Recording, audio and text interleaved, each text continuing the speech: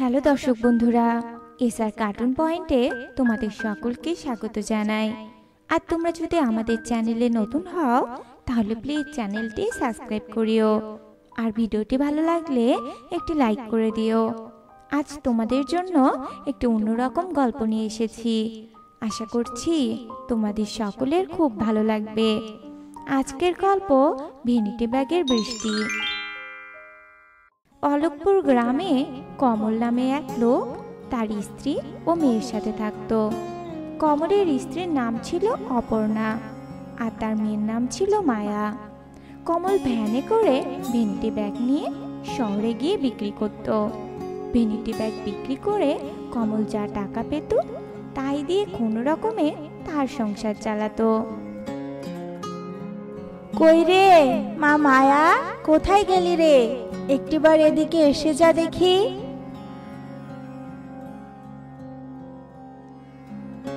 হ্যাঁ মা বলো ডাকছো কেন? আর হ্যাঁ তুমি আমায় যে কাজটা করতে বলেছিলে তা হয়ে গেছে। আমি কি তোমার কাপড়টা নিয়ে আসব?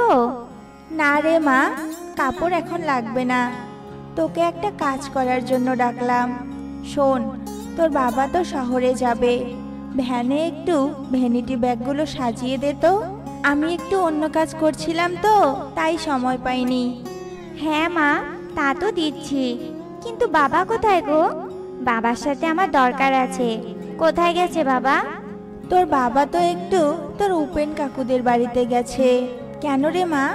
কি দরকার? আমায় বল। তোর বাবা এলে আমি তাকে বলে দেব। তেমন কিছু না মা। বাবাকে কতদিন ধরে আমার জন্য একটা ভেনিটি ব্যাগ আনতে বলছি। কিন্তু বাবা তো আনছেই না। আমার আগের ব্যাগটা তো একদম ছিঁড়ে গেছে মা। ও এই কথা? তুই কোনো চিন্তা করিস না মা। তোর বাবা বলেছে কদিন পরে শহর থেকে তোর জন্য একটা ভালো ব্যাগ নিয়ে আসবে একদম নতুন ডিজাইনের। তুমি সত্যি বলছো মা। তবে তো খুবই ভালো হবে। আমি তবে এবার গিয়ে ব্যাগগুলো গুছিয়ে দিচ্ছি। আচ্ছা মা, ঠিক আছে। মা, তোর বাবা এলে আমি তাকে এখন আরেকবার বলব। এরপর মায়া খুশি মনে সেখান থেকে চলে যায় আর অর্পণাও তার কাজ করতে থাকে। এভাবে হাসি মজায় তাদের দিন ভালোভাবেই কাটছিল। একদিন কোমল ভেনিটি ব্যাগ বিক্রি করতে শহরে যায়। ব্যাগ বিক্রি করে সে যখন রাস্তা দিয়ে বাড়ি ফিরছিল তখন হঠাৎই তার একটা অ্যাক্সিডেন্ট হয়ে যায়। আর কয়েকজন লোক মিলে কমলকে হাসপাতালে নিয়ে যায়। কমলের অ্যাক্সিডেন্টের খবর পেয়ে অর্পণা আর মায়াও সেই হাসপাতালে যায়। আর গিয়ে শুনে যে কমল মারা গেছে।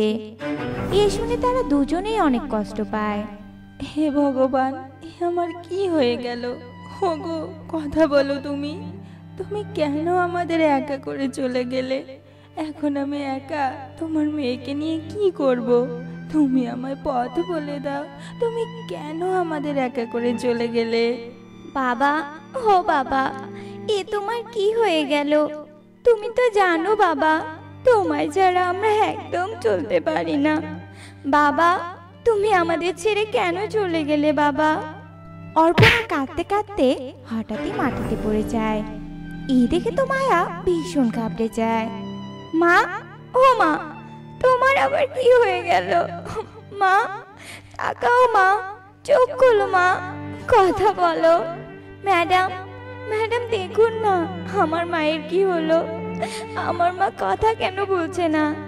এরপর ডাক্তার অর্পণাকে দেখে আর দেখে বলে যে সেও মারা গেছে।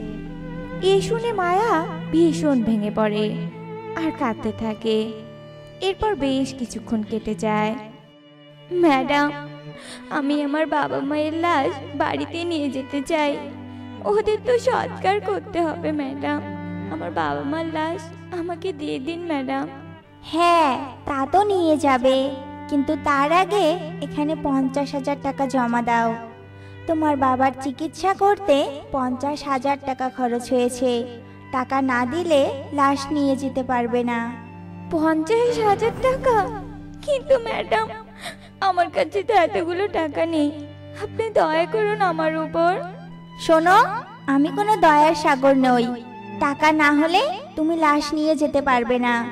কথা না বলে এখন টাকা নিয়ে এসো। এই বলে ডাক্তার সেখান থেকে চলে যায়। মায়াও নিরুপায় হয়ে তার বাড়িতে ফিরে যায়। আর কোনো উপায় না পেয়ে সে তার বাড়ি ভিটে বিক্রি করে দেয়।